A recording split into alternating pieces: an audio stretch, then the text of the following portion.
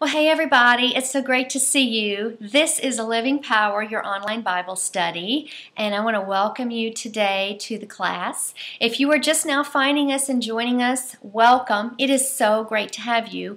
We are currently in the book of Job. We have about four more days in Job uh, before we move on to the book of Exodus, and today we see Job giving his final dissertation.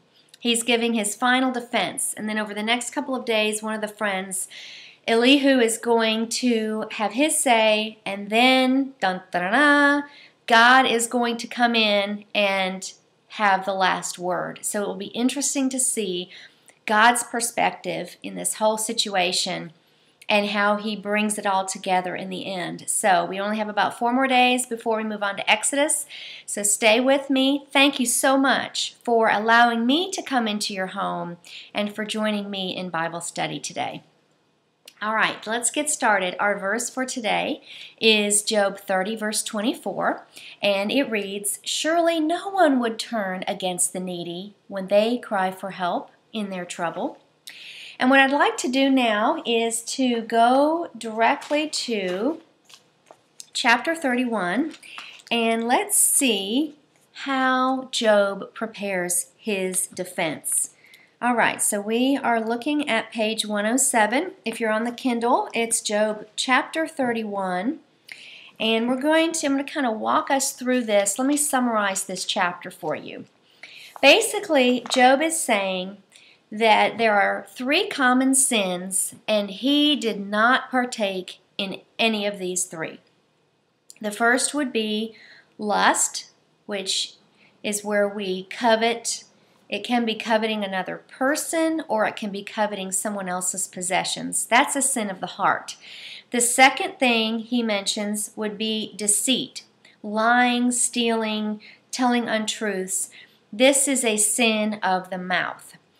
Thirdly, he mentions adultery as a common sin. That is sort of a, um, a sin of the hands, so to speak. So he is saying that he has kept himself pure. And in his defense, he says, I have been a good employee.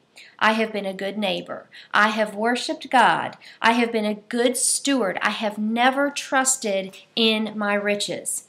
I have kept evil out of my heart. I have never wished ill on another man or sought revenge.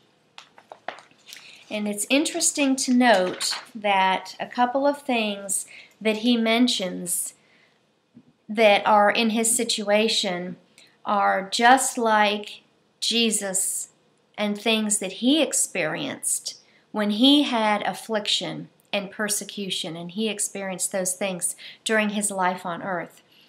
Listen to these three. Job says that he was falsely accused. Jesus was falsely accused. In verse 12, the text actually reads, People opposed me to my face. The second thing, Job says, People have spit on me. They spit on Jesus during the crucifixion.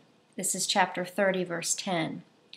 In chapter 30, verse 14, he was ridiculed while he was suffering. Job says this was his case, this was his situation. Jesus experienced the same thing. In our text, it says, People jumped on me while I am down. And if you wanted to look again at chapter 30, verse 16 to 19, I'll read it to you. This is how Jesus must have felt during the crucifixion. And now my life seeps away, depression haunts my days. At night my bones are filled with pain, which gnaws at me relentlessly. With a strong hand, God grabs my shirt. He grips me by the collar of my coat. He has thrown me into the mud. I'm nothing more than dust and ashes. Wow, we really need to recall the pain and suffering that Jesus went through, all for us, all because he loved us so much to save us from our sins. And here we see Jesus yet again in the Old Testament. So Job is saying, Surely God will vindicate me. And his friends are saying, Surely God will condemn you for your sins. What do you say? Will Job be vindicated? Or do you think God will condemn Job? Well, we'll learn the answer to that over the next couple of days. I want to remind you about Proverbs 28:13. It says, "People who conceal their sins don't prosper, but if we confess them and get them out, we will receive mercy." Job did that. It says he did nothing to conceal sin or guilt in his heart, but he confessed that before the Lord. That makes me think of King David. You remember when he said in the Psalms, he said, Search me, create in me a clean heart, O God. Let there be no sin within me. But you search me and purify me, for I confess all things before you, because there is nothing in my life or in the world that is hidden to you, O God, for you know all things. Search me, cleanse me, and make me pure.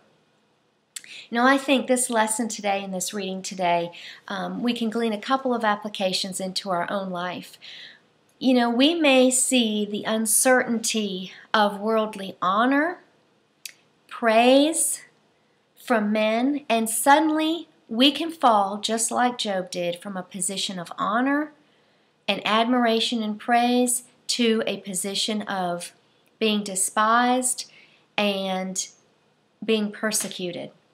It's easy to lose, and we must never put our confidence in our jobs or anything that would make us think that our identity is not in Christ Jesus.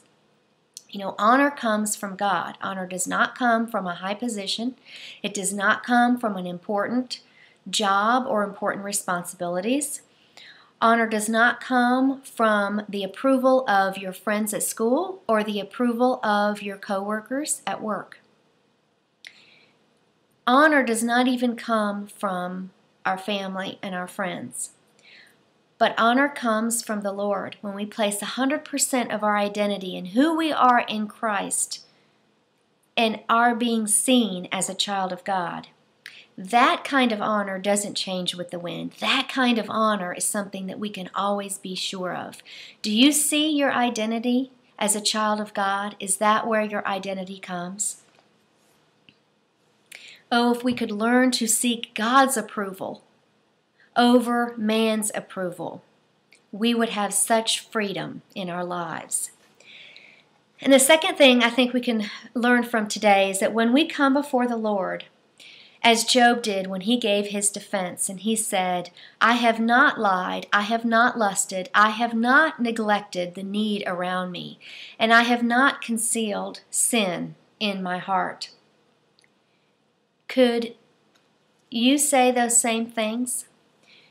How pure are you in your life before the Lord? Do you take your role as being the hands and feet of God in going into the world and meeting the needs of those around us seriously? Do you take that seriously?